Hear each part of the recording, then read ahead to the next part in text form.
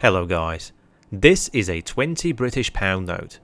It can buy me a couple of pints at a local pub, or this, the entry level 1st gen Ryzen 3 CPU.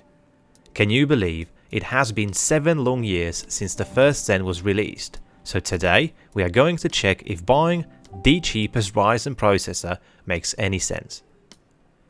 This budget-oriented Ryzen 3 1200 was introduced in July 2017 with an MSRP of 109 USD. Manufactured on 40nm process, it comes with 4 cores and 4 threads, there is no simultaneous multi-threading. Those cores are running at 3.1 GHz base clock, and, under load, they will happily boost to 3.4 GHz. Ryzen 3 1200 has a low TDP of just 65 watts and it fits into the AM4 socket. Memory support officially tops up at DDR4 speeds of 2666 and this CPU offers 16 PCIe Gen 3 lanes. Today's testing was done using an ASRock X570 Extreme 4 motherboard fitted with 32GB of Corsair's Vengeance memory which, sadly, I couldn't get to work above the officially rated speeds. As always, H150i looks after the temps, and RTX 3080 ensures our little AMD CPU is the bottleneck. Before we start, it's worth mentioning that the total system power draw at idle was just 88 watts, jumping to 122 under full CPU load. And even though the CPU can technically be overclocked, I gave up as mine could not even achieve stable 3.6 GHz. Not to worry, let's benchmark. Cinebench R23 first.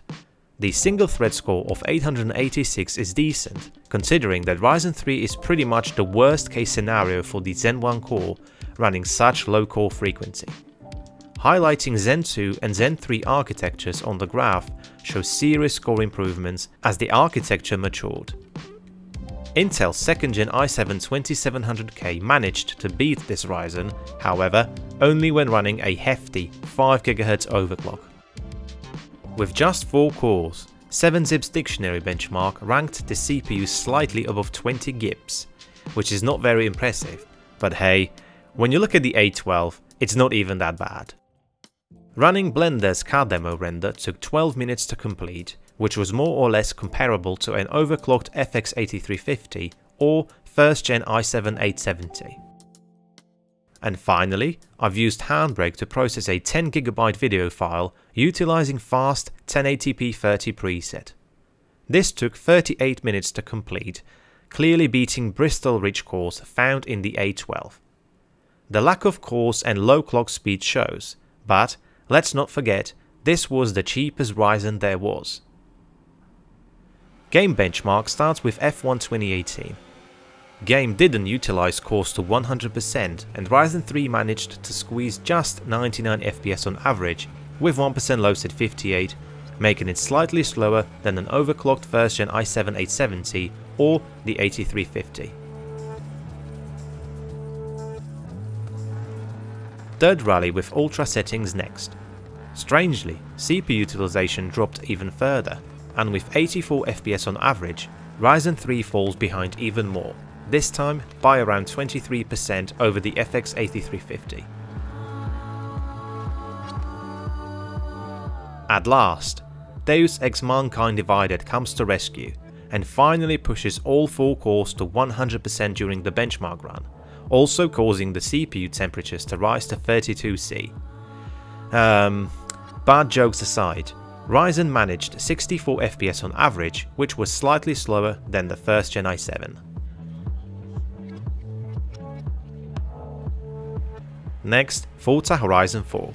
I was happy to see all CPU cores flat out again, but with an average FPS of just 84, I'm starting to realize that this Ryzen 3 processor is simply not powerful enough to beat even the 8 years older Intel's first gen i7. And to add more salt into injury, I had to disqualify Ryzen from the next game tested, Shadow of the Tomb Raider. This game benchmark includes 3 scenes, and for some reason, the last scene never loads. Instead, I get to observe black screen and a lovely sounding cricket for few minutes. and after a couple of times I simply gave up.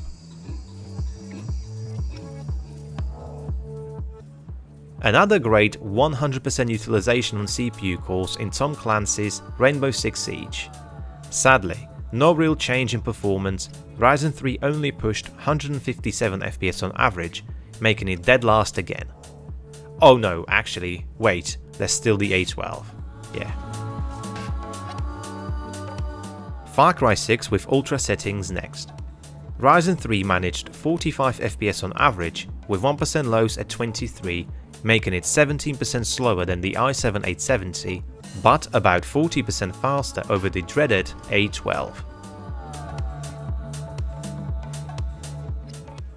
Last game tested was Cyberpunk 2077, which managed to push all cores to 100%, but, rather unsurprisingly, Ryzen 3 stays consistent and with under 50 FPS on average, it falls short of everything but the A12. Then, there you have it. Release of Zen architecture was probably the best thing that happened to PC industry back in 2017, of course alongside with the release of 1080 Ti, and I'm glad it helped establish a long lifespan for the AM4 platform. Being the cheapest Zen 1 part, Ryzen 3 1200 was aimed at low power, budget builds, and we really need to keep this in mind when looking at results of today's testing. I still could not help it a little, and part of me perhaps expected to see it would at least beat some of the first gen i7s or the FX8350. At the same time, I do realise those were sold as high-end parts and they consume a lot more power. Despite the not very impressive gaming performance, I believe the true appeal of this chip is simply the amazing value for money and low power consumption.